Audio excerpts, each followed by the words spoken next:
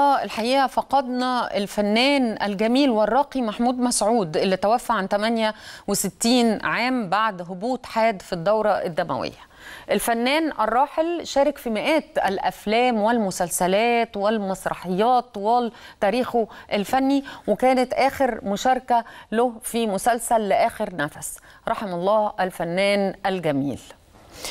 آه كمان عايزين آه قبل ما أطلع لفاصل أنا حابة أعزي أسرة ومحبي الراحل محسن عادل رئيس هيئة الاستثمار السابق واللي توفي أمس عن عمر 43 عام بعد إصابته بفيروس كورونا.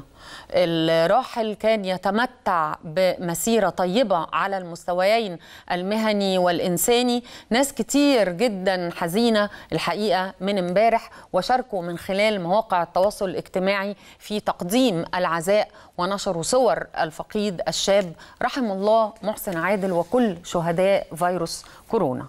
مشاهدينا